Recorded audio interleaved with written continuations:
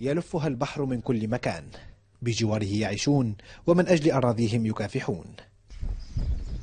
القطعاية بغار الملح التونسية تبدو وكأنها سجينة البحر. تربتها رملية ومياهها مالحة. المزارعون هنا ومنذ زمن بعيد تحايلوا عليها بطرقهم الخاصة. نصبوا القصب للحد من تأثير الرياح على ثبات الرمال وأضافوا إليها مخلفات الحيوانات. فلا حاجة لهم للماء أو للأسمدة. الريح عندنا مثلا في المنطقة هذه يكون ريح قوي برشا. وللمقاومة معناتها الرياح القوية استعملنا المصدات هذه.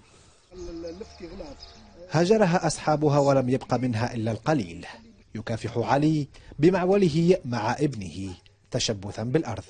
بعد عزوف الشباب عن خدمتها لضعف مردوديتها.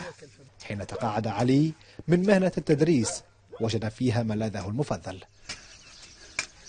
خدعوا الطبيعة فأنبتوا زرعا ما كان له أن ينبت في تربة رملية مالحة ليحافظوا على زراعة ورثوها عن أجدادهم المورسكين لكنها اليوم تواجه خطر الاندثار.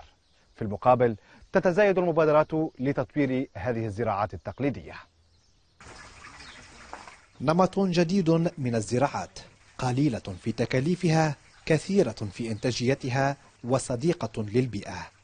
هنا تمتزج الزراعة العضوية بتربية الأسماك وتستخدم مياه تربية الأسماك أيضا في تغذية النباتات وتعويض التربة والأسمدة.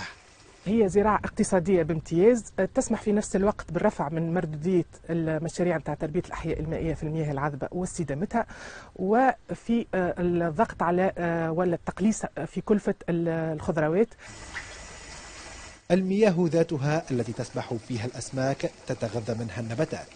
هي زراعة أحيمائية حديثة يحاول المركز الفني لتربية الأحياء المائية بمنطقة بومهل التونسية وضع موطئ قدم لها في بلد بدأ في السنوات الأخيرة يعاني من شح المياه. وسام الدعاسي العربي.